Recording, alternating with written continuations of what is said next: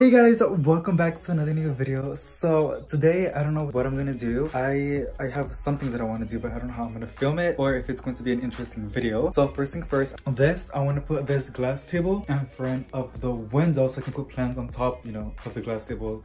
Like plants that need like direct sunlight. And then I want to get my black shelves again and place them on this side of the wall. Not sure that makes any sense, but the reason why I want to do this because, I mean, I already knew that these garage lights are really, really good. I have a few plants in there, uh, which I can show you guys right now.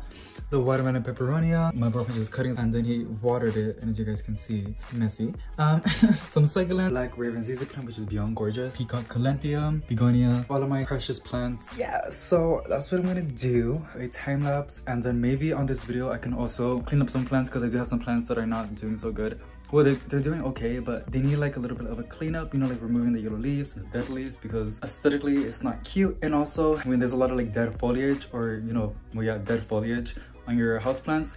It promotes pests and insects and that's not what you want. So and yeah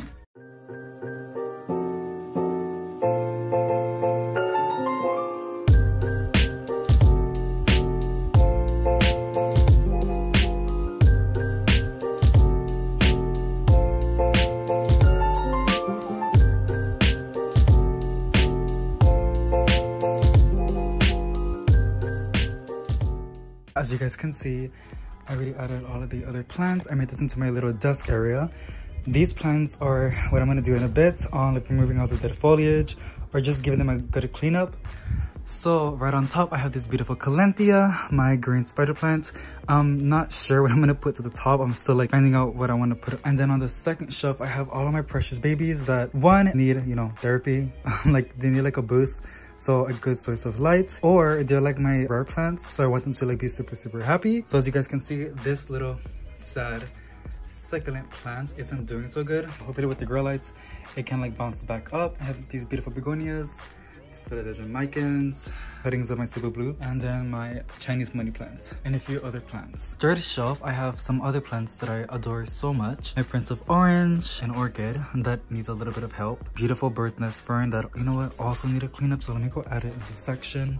Because like, I keep forgetting pink stripe calenthia which i love so so much a beautiful philodendron that as you guys can see is putting out a new leaf super exciting Magellancina. and at the very very bottom i have my golden pothos because like it doesn't get a lot of light and obviously that's a plant that can tolerate low light so yeah on the side i got my pink syngonium elephant's ear I'm not that sure. And then a bird's nest fern, which is crisping up a little bit. So these are like the old growth from the apartments but the new growth looks really really good.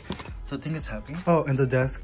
So i have my curtains which i always put them back up in the mornings and then i put them down. The night so people won't see inside. It does look like aggressive but it's not heavy. The plants can tolerate it.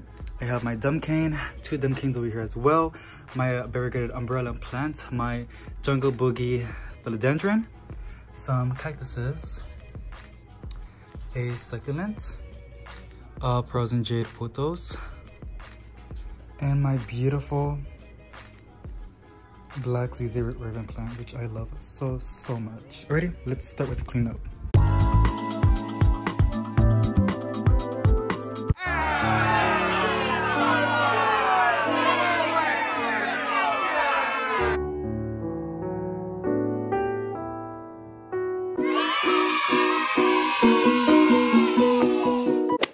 Guys, so let's get into the plant maintenance. I don't know what you want to call it.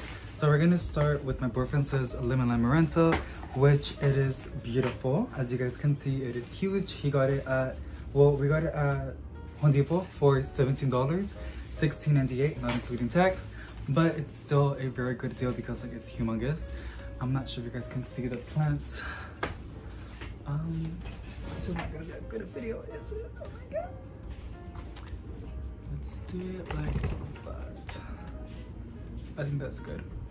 Alrighty, so we're just gonna trim off the old flowers because it has already bloomed.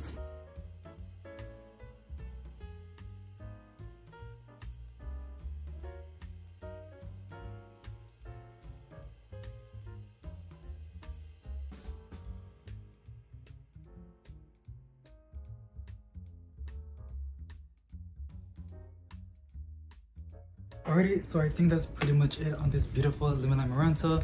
I cut off majority of all the flowers.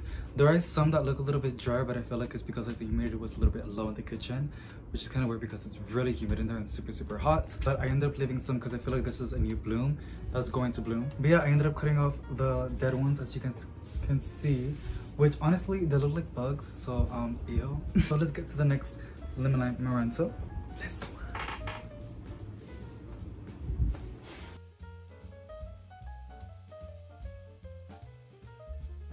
so i'm done with this one as well. As you guys can see because it's getting oh i can't even see the clock anymore. But it's getting a little bit late already so the lids are starting to like close up. Yeah one of the cool things about marantas and um, prayer plants and calenthias they ended up majority of them they close their leaves as you guys can see in the night and they open up in the morning which is super super cute. Next one is this cute birds of paradise. I bought these at walmart and I bought this adorable, cute little Birds Paradise at Walmart and I started the clearance section. Um, Bird of Paradise. Oh my god. Bird's Nest Fern. Yeah, it's called the Bird's Nest Fern. I got it for clearance. It was for $2. I was, I felt so lucky. And I bought another one. Well, not another one, but I bought it when I bought this one. You guys, it's a little bit late and I'm a little bit tired, so I'm sorry if my English is not really good. It's never really good. Also, like when I film, I feel really, really nervous. I like get terrible anxiety. Like I feel like I need to be on top of everything. Like as in like making sure that I make sense, if I'm saying the correct things, if I'm saying the correct plant name. Cause like there's people that are watching my videos and I don't want to sound dumb or embarrass myself, even though I do. And also, my mom and my brother are still like literally in the rooms. And these walls are really, really thin. They can hear every single little word that I'm saying right now.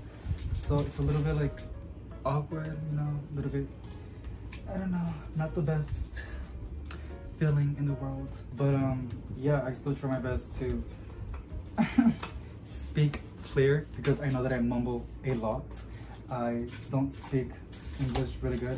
You guys can see it is a dumb cane. Now as y'all there's a lot of yellow leaves and you guys this plant i'm telling you right now from the beginning when i when i bought my first dumb cane it was so I, it was the worst experience ever with the plants. I it was just bad. It was like every single day i was losing like one leaf and then it just came to the point that the entire plant died. And i ended up buying a second one because i was like I don't know, I want to give it a second shot and the foliage, as you guys can see, it is beyond beautiful. And I haven't killed it. I haven't killed it. I feel like my issue is with this um, plant, the dumb cane, or Dieffenbachia. I don't know the, the same terms, but I know this one's called a Dieffenbachia. And I know I have a dumb this is called a dumb cane. I think they're like the same terms. But it does not like to dry out. I don't know, I think that's the issue with me. Cause like I don't really water my plants a lot so like for me, there is no such thing of overwatering because I never really water them. When I started collecting so many plants at this point, I just like push it to the side, which is not smart. It is not responsible. You guys can see, I'm suffering the consequences. Not really suffering, but you know, I get what I get for not doing my job, which is like looking after my plants. This was in a really, really small pot, six inch pot, and it was really root bound. So that's why it was getting like dry really, really fast. And honestly, I'm probably gonna propagate this one. Snow white marble queen pothos i believe that's what you call it. I do know it is a pothos i'm not sure if it's called the white or snow or frosted marble queen pothos again i am not a plant expert you guys. Like i'm really really not. I just love plants a lot. A big girl a beautiful big girl Alrighty, so the next one it is my Cebu Blue. She is super cute. She is honestly, she's going to be three years old. Yeah, she's about to hit three years like being with me. I've done so many propagation with this plant, like a lot, a lot. I've got so much foliage on it. And that's pretty much it for this Cebu Blue. Alrighty, so the last plant is my beautiful Calenthia. As you guys can see, there is a lot of dead foliage.